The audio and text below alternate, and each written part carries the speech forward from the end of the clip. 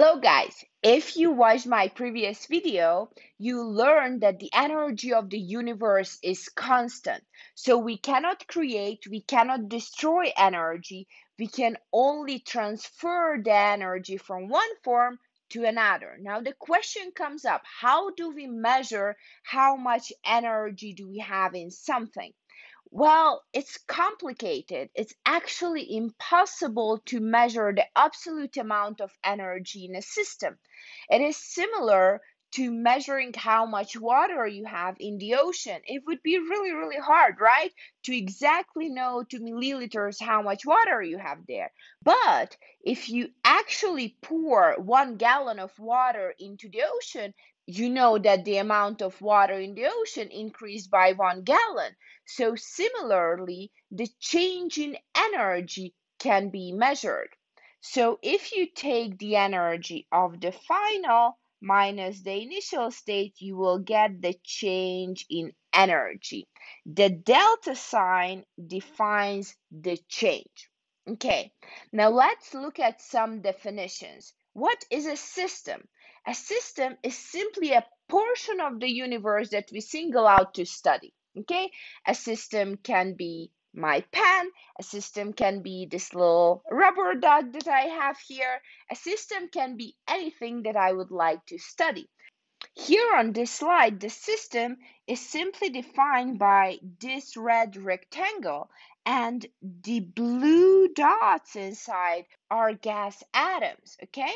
And they actually move around with some velocity inside this system, okay? So they have a defined kinetic energy.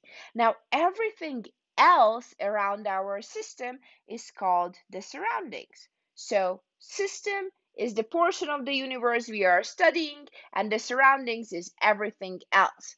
Now, what's really important is the internal energy of the system. This is the sum of all kinetic and potential energies of all components of the system. Now, generally, depending on your textbook, you are going to see internal energy defined with a capital U or a capital E. In this video, I'm going to use capital E to define the internal energy. Okay, so now we know what the system is, what the surroundings is. There are actually three types of systems. We can have an open system in which we can exchange with heat and mass with the surroundings, just like this coffee cup right here. It can cool down, we can drink coffee from it, so we can exchange with heat and mass. We can have a closed system which can only exchange with heat with its surroundings, just like this water bottle as it is closed, we can warm it up, but we cannot drink water from it. And an isolated system which cannot exchange with heat or mass with its surroundings. And a good everyday example might be a thermos that can keep our drinks cold or hot. Obviously, this is not a perfect isolated system, but this is a good example from our everyday life. So, let's get back to how to measure energy exactly. We know that energy is defined as the ability to do work and transfer heat. So let's say that we have a system, actually a container that contains some kind of monoatomic gas and on top of this container we have a movable piston. Okay, so this is the piston right here. And inside the container, I have this monoatomic gas. So the gas atoms have some kind of velocity inside this container. And now I can do work on my system. For example, I can move this piston down. So here, I have the same container. However, I move the piston down by doing work on the system. So work done on system. by the surroundings, for example, by me. So, what happens when I move this piston down?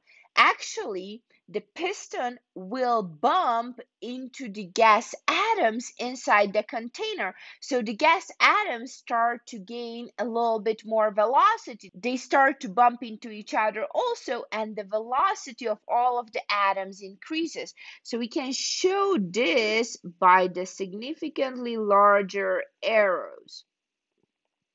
So because the increase in velocity means that actually we increase the kinetic energy and all the energy inside the system gives us the internal energy.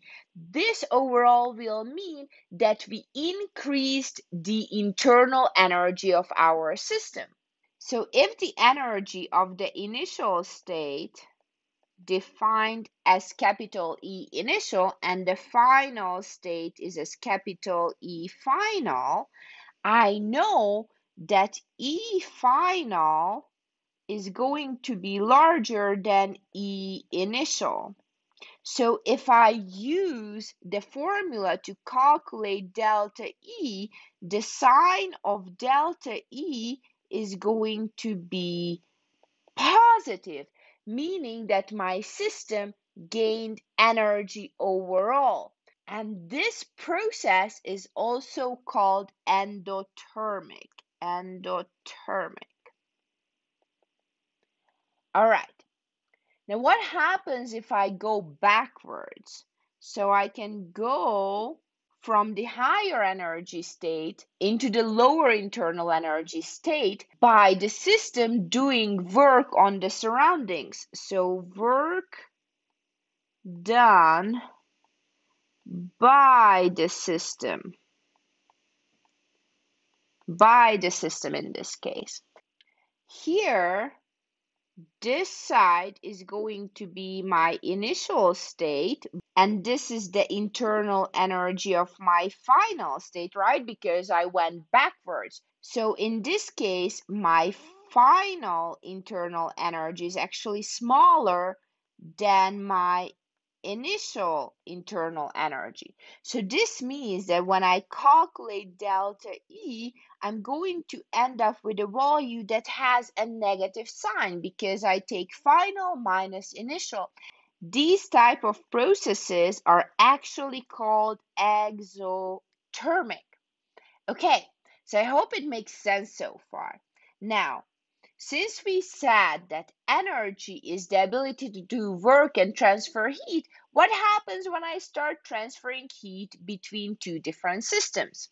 In my initial container right here, I'm going to have a monoatomic gas with some kind of gas velocity and then I can add heat to the system.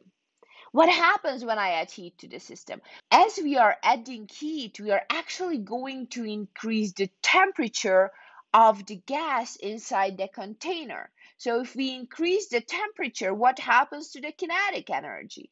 It will also increase, right? Because at this point, as I added the heat into my container, my atoms will start moving way, way faster, right? So this is adding heat.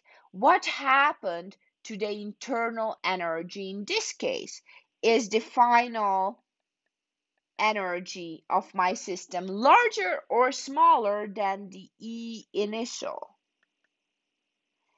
It is indeed larger, right? So when I'm adding heat, I'm going to end up with a change in internal energy that is going to have a positive sign. So this is going to be an endothermic process, just like in the case when I did work on the system. Can I go backwards? Yeah. So if I go backwards, this means that the system loses heat so if I compare the initial internal energy with the final internal energy. My final internal energy is actually going to be smaller. So again, I'm going to end up with a process where the change in internal energy is going to be negative. So I'm going to have an exothermic process. So as I go in both of these cases, from left to right, I am going to increase the internal energy of the system. And as I go backwards, I'm going to decrease the internal energy of the system via an exothermic process. Since energy is defined as the ability to do work and transfer heat, there is another way of calculating the change in internal energy. So the change in internal energy also equals to work, which is defined as W plus Q, which is heat. Okay, I know that there is no letter Q in heat. However, Rudolf Clausius defined it in 1850 with this letter, and we just kept it by convention. All right, so just like the change in internal energy can have either a positive or a negative sign, both work and heat can have either a positive or a negative sign.